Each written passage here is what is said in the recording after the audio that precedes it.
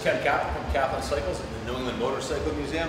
I've got this extremely rare 1977 OSSA 350 Pioneer, Super Pioneer.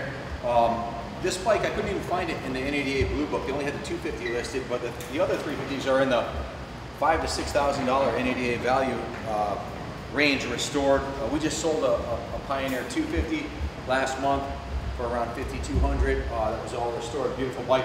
This is a perfect candidate for restoration. It runs, the transmission shifts beautifully, clutch works great, the brakes work perfectly. It only has 1,100 miles on it.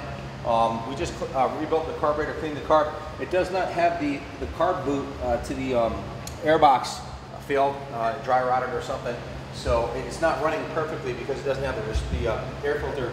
And I didn't want to run it anywhere in the dirt like that, of course. I only rode it across the, the parking lot so uh, it wouldn't suck any dirt or anything. But uh, the original exhaust is in beautiful condition.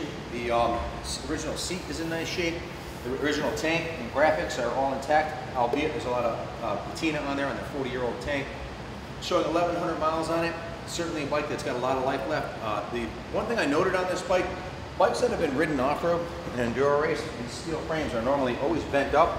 This one's absolutely perfect. And so is the, uh, the, the bash plate on the bottom doesn't have a single dent in it. So I think this was ridden primarily on the street or, or possibly grass, but the foot pegs, the levers, the, the, the um, brush guard here is perfectly straight. The original um, uh, uh, protector for the brake is in perfect condition. The rims even have the Akront stickers on them, which is something that would power wash off relatively quickly. Uh, the original rims are perfectly straight. I don't see any dents or dings on the front rim. I don't see any dents or dings on the rear rim. The um, rear swing arm has absolutely no play whatsoever, indicating all the bearings are intact. So really it just needs a cosmetic restoration, refresh a paint job, rebuild the carbon. You got yourself a a six, seven thousand dollar classic. Um, we just got back from Mid Ohio, which is uh, pretty much Woodstock for dirt bikes. This would, could have been the poster child for Mid Ohio. Classic, big bore, two stroke. Fantastic machine. I'm 230 pounds. This thing rips with me on it. Um, I went ripping up the street on it. Went through the gears, first through fifth. This thing flies. Um, it's not running 100% right because of the, the, the choke and the, uh, you know, it's not going to uh, uh, have any air restriction with that without the airbox. This uh, uh, connected, but it has perfect compression and uh, it's all there. The bike's all there. It has original gas Betor, laid down Betor shocks, the Betor forks. It is going to need new fork seals, so I plan on putting new fork seals on it, a paint job, and a um, carb boot, and you should have yourself one kick-ass classic. The original, check out the original headlight on this thing. Perfectly straight. These normally get all bent up. All the brackets and everything are perfect. The, the bars, even the levers, the original leather protectors on the levers are intact. The levers are nice and straight. It has the uh, uh, period correct grab-on grips in blue matching the blue meter shocks.